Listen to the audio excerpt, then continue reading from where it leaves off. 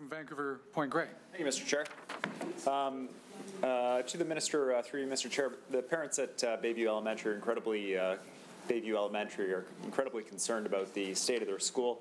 Uh, The school will be reduced to rubble in the event of an earthquake, uh, but not only that, uh, the youngest constituents uh, in my riding uh, go to school in a dank basement that has pipes overhead, literally wrapped with warnings that say, beware asbestos. Um, The top floor of the building has a classroom full of mold. Uh, There's no access for children with disabilities in the neighborhood. They have to go elsewhere to learn. Uh, Parents have been waiting for years for improvements to this school. Uh, They've been very long in coming because our school board has to choose between basic maintenance uh, and actually providing teachers to teach. And despite this, uh, these dire conditions, our uh, teachers and administrators there are some of the best in the province. And uh, my colleague uh, from Mount Pleasant mentioned that at General Gordon, funds have been approved for capital upgrades, and for that the community is certainly very grateful. But unfortunately, our school board's been hamstrung again by the approach of the ministry. There aren't sufficient funds to um, take the approach that was planned, which was to upgrade General Gordon while the students were on the site at an annex building. Uh, now the students are going to be bused to uh, two schools very far away uh, near the University of British Columbia for two full academic years, uh, leaving uh, not only the kids and parents in limbo, um, but also the Jericho Kids Club, which is a vital after, after school program. Um, neither host school is large enough to accommodate everybody, so they've, they've actually been split in, into two separate groups. And this is also of great concern to the parents at Queen Elizabeth Elementary and Queen Elizabeth Annex, who are worried about yards being full of portables for two years and also scarce resources at the schools as well. Uh, Minister, I only have a few schools in my riding, and yet many of them are incredibly concerned about uh, underfunding issues. You've heard from my colleagues.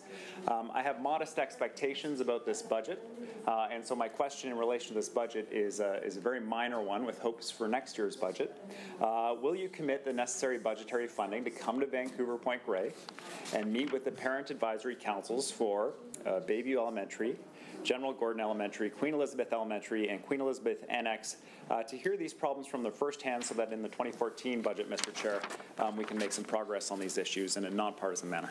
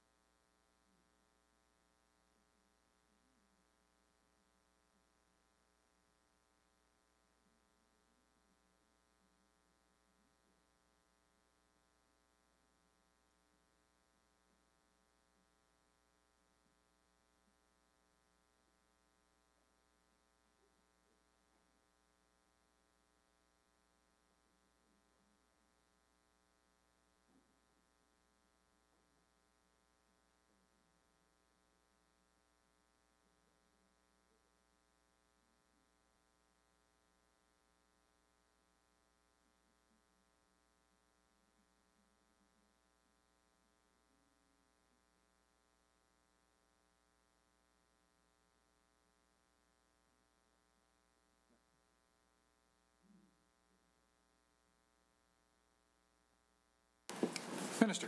Thank you, Chair. Um, First of all, I am planning on meeting with the Vancouver School Board, which is, I think, the appropriate uh, meeting for me to have initially because I need to hear their priorities and discuss issues that they have throughout the entire district. Um, My understanding uh, is that Bayview is part of our seismic mitigation program.